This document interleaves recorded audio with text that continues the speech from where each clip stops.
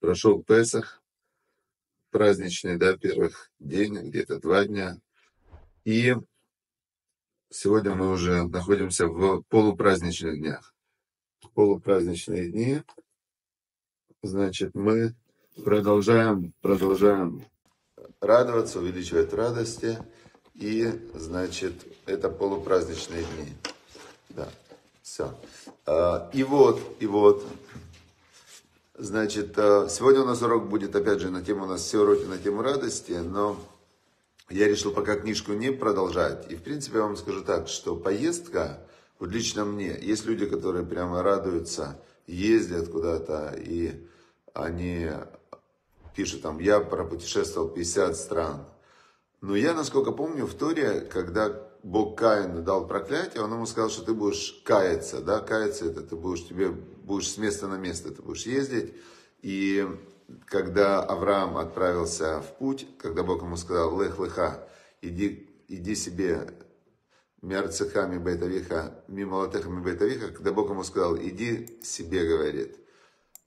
Может быть, правда, вот тут ответ на вопрос, зачем люди путешествуют. Бог Аврааму сказал, иди как бы себе, но можно понять, иди к себе. И он говорит, иди к себе, ме арцеха из своей страны, мимо латеха из своего города, из дома отца своего. И Тора специально нам показывает порядок выхода, был у Авраама не, необычный. Обычно же человек выходит из дома, потом из города, потом из страны. А Бог ему говорит, иди из страны своей, иди из города своего, иди из дома своего. Иди к себе в землю, которую я тебе покажу. И отсюда учат наши мудрецы, что э, человек, он находится в плену, в плену вначале у э, обычаев своей страны. Знаете как, родился в китайце, в Китае ты китаец, родился там в Украине, значит ты э, украинец. Ну, образно, да, там в России, в Советском Союзе, в Америке.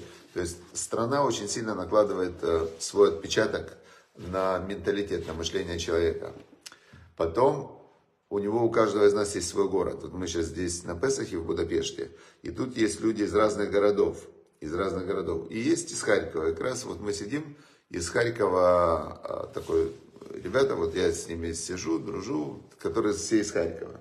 И мы вчера вдруг э, обнаружили, что там три человека из компании этой наизусть знают 12 э, стульев и золотой теленок. То есть это была их любимая книга, причем до такой степени, что они прям кусками могут цитировать. И определенный менталитет есть. Харьков это Харьков, там Одесса это Одесса, веселые такие. Питер это считается культурные, э, ну и так далее. То есть э, у каждого, у каждого города есть свой особенный менталитет. Теперь в, хорошо, дом, дом отца. Понятное дело, что у каждого есть свои, в доме каждого воспитывали по-разному, у каждого были свои какие-то особенные в доме, какие-то свои там правила, порядки, привычки и так далее.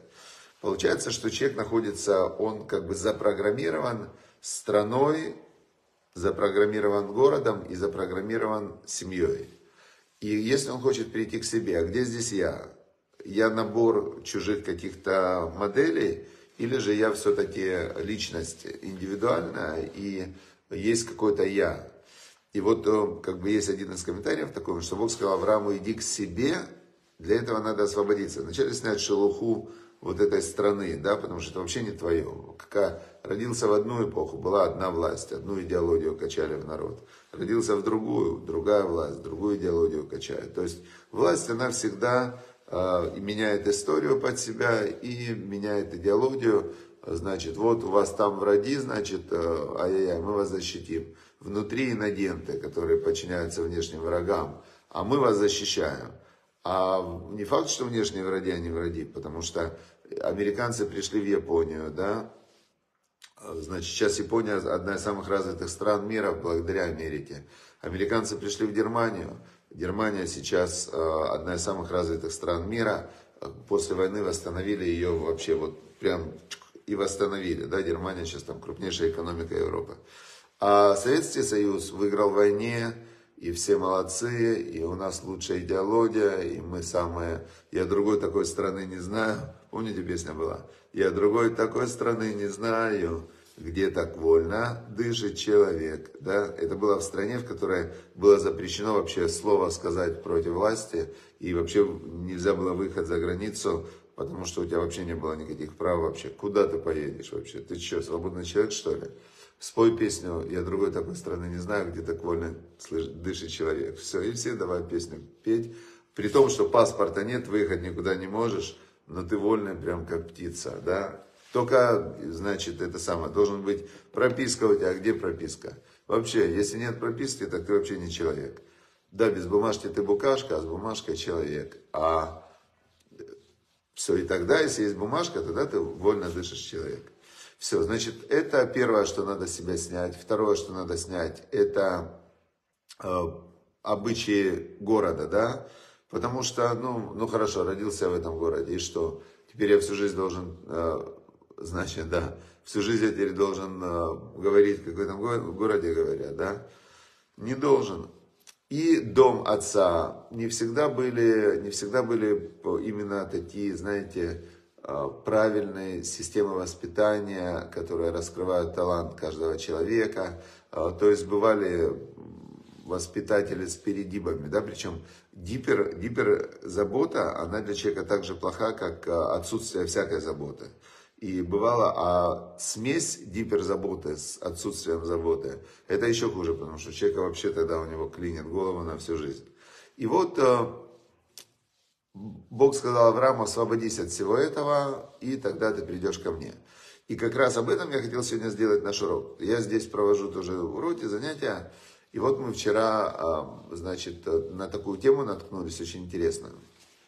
Значит, есть в Торе, есть три праздника, так и называется, Шалош Регалин. Три праздника, в которые нужно было подниматься в Иерусалимский храм, и в Иерусалимском храме в, в эти, ну то есть это были такие праздничные дни. Песах это праздник исхода из Египта. Шавуот, это сейчас от Песаха 50 дней, 50 день, это будет праздник дарования Торы. И а, третий праздник у нас какой? Сукот. Сукот это в осенью, это в шалашах.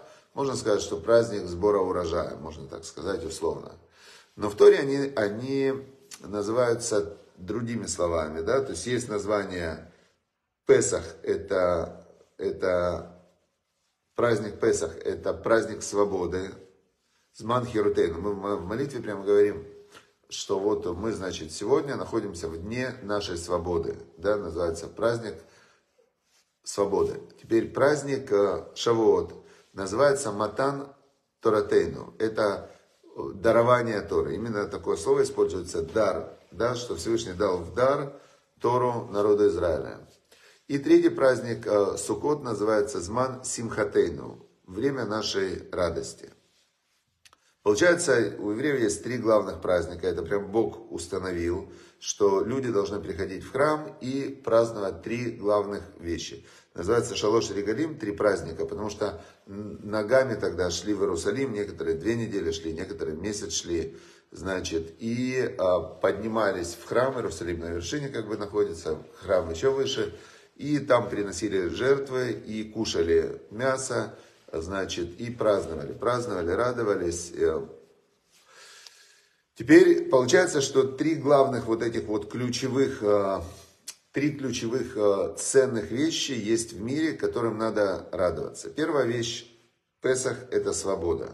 То есть свобода, освобождение – я не случайно начал с э, Авраама, который был первым, э, кого Бог вот так, который соединился с Богом. Авраам, он хотел найти Всевышнего. Авраам, он, э, это была его мечта понять, как мир работает. Говорят, что до того, как он нашел связь со Всевышним, он изучил все и дал поклонство. Он был самый известный астролог, маг того времени. То есть Авраам, его, его написано, трактаты его, да, там, где он собирал это знание, а вода Зара и дала поклонство было 400 томов. То есть он э, изучил все вообще, что только можно было знать про, про мироздание, и он дошел до того, что есть единый Бог, который все это сотворил и всем управляет. Что все силы, которые есть в мироздании, они созданы и управляются одним единым Богом. И он э, с этим Богом, он прямо его говорит, я хочу, вот ничего в жизни больше не хочу, хочу с тобой познакомиться, хочу с тобой установить контакт. И так сильно он хотел, вот как многие из э, тех, кто слушает уроки платформы Вайкра, тоже пришли сюда именно по той же причине, по которой Авраам искал Бога, что я хочу понять, э, вообще установить контакт с Творцом мироздания.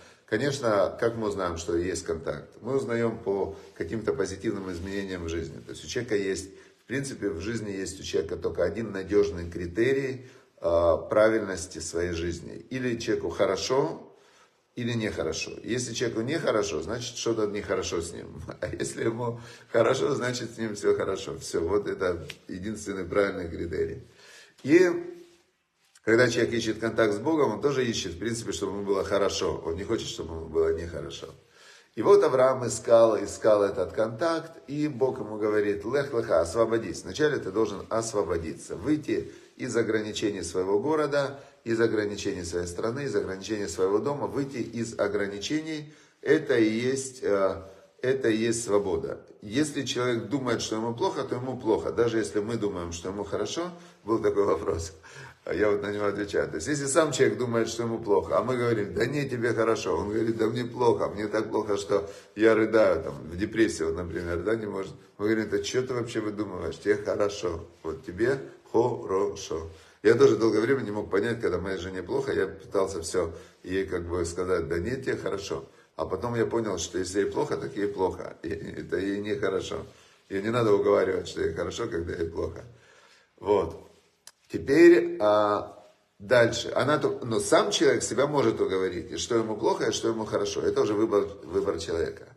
Так вот, первый праздник Песах Свобода – это освобождение, освобождение от всех ограничений, включая современный человек очень сильно, он завязан на пищевых ограничениях. А, то есть свобода – это освободиться от пищевых привязанностей.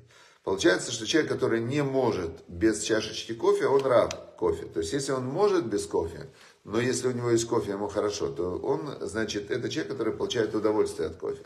Но если он, вот эта тонкая грань, тоже как раз я учил в, в этот Песах, я открыл Талмуд Брахот, есть такой трактат Брахот.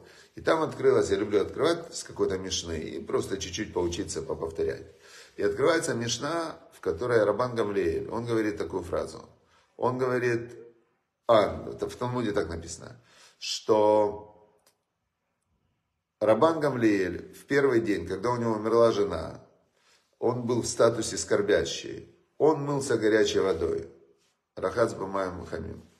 А, ученики ему говорят, «Э, учитель, ты же нас учил, что человек, который в трауре, он не может мыться горячей водой. Значит, прям по закону нельзя.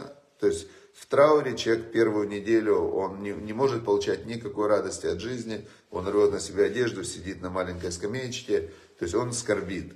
И он не может получать никакого удовольствия, там музыку слушать, все такое. А, а он мылся горячей водой. Он им говорит, «А, я не такой, как все люди, я изнеженный. Объясняется, что, что он им сказал. Он говорит, я моюсь, я от этого удовольствия уже не получаю. Я изнеженный, если не помоюсь, так я буду страдать. Так мудрецы сказали, что нельзя в это время, когда ты скорбишь, получать удовольствие. А я изнеженный, я уже удовольствия не получаю. Я только если я не моюсь, тогда я страдаю. На это мудрецы не а, не как бы, не, ну, они не дали это ограничение, чтобы человек страдал больше. Они не хотели, чтобы он больше страдал. Они хотели, чтобы он убрал от себя все отвлекающие факторы и погрузился в воспоминания о своем ушедшем. Ну, он скорбит, как бы прощается с ним, да. Теперь мы видим отсюда, что человек, который изнеженный, он уже не получает удовольствия от комфорта. Он страдает от отсутствия того, э, чем он изнеженный.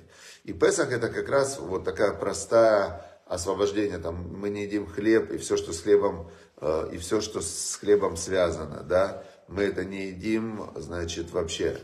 Теперь, а, ну и вообще Песах это такая очень простое упрощение жизни, вот это вот хлеб с водой, и ты освобождаешься. Когда ты освобождаешься от пищевых привязанностей, ты освобождаешься от страха, что тебе а, люди боятся за будущее, да, но чего они боятся? Этот страх, он в основном э, подсознательный, он основан на том, что на протяжении тысячелетий люди боялись, что завтра не будет еды.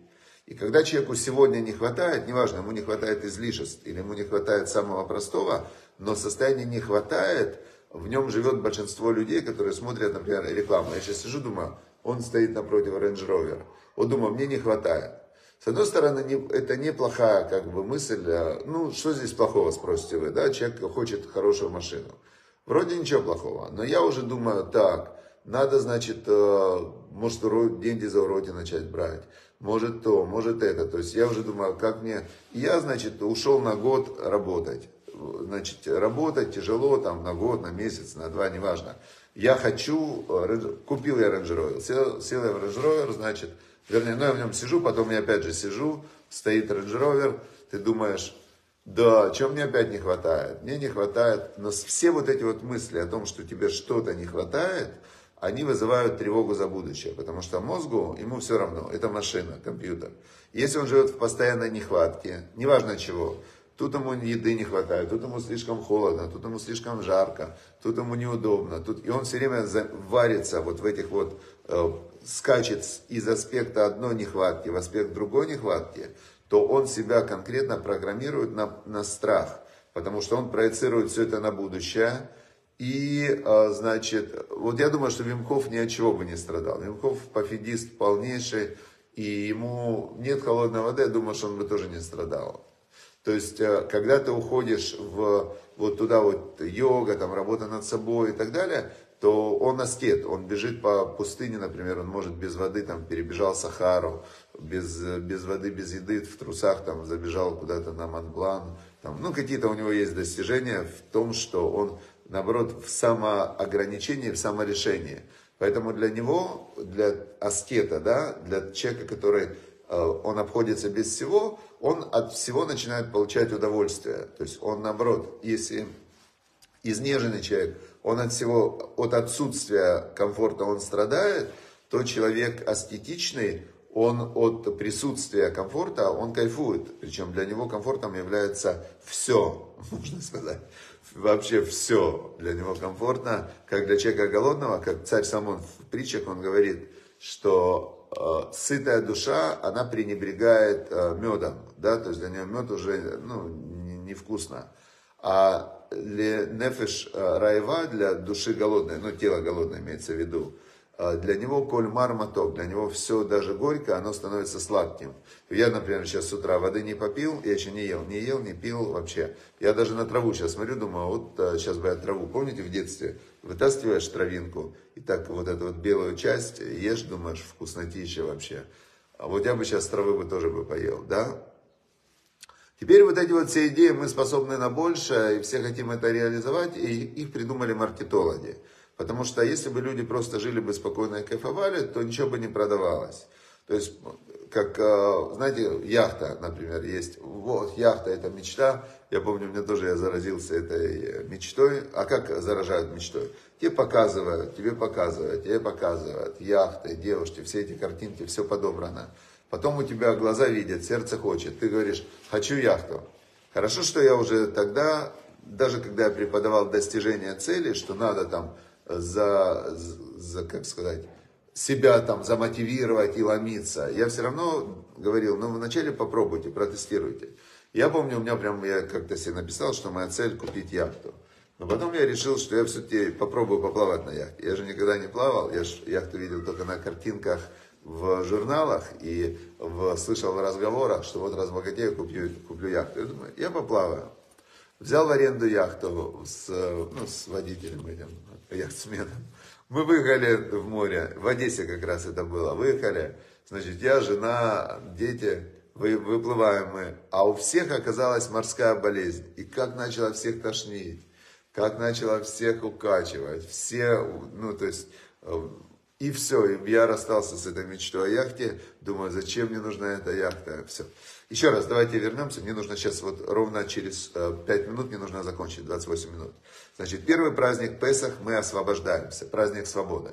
Дальше, когда ты свободен от всего, у тебя нет привязанностей, мозг не может стоять на месте. И тогда идет следующий праздник Матан Торатену, дарование Торы. Тора это как раз то, что заполняет твое интеллектуальное пространство, и ты начинаешь выполнять волю Всевышнего, заповеди, учить Тору, учить Талмуд. А, все 49 дней, которые мы идем от Песаха до до Шавуота, до дарования Торы. Это сфера Таомер, исправление качеств. Каждый день исправление качества. Сегодня качество, например, называется границы в милосердии. Вчера было милосердие в милосердии. Хесед Шебе Хесед. Это первый день.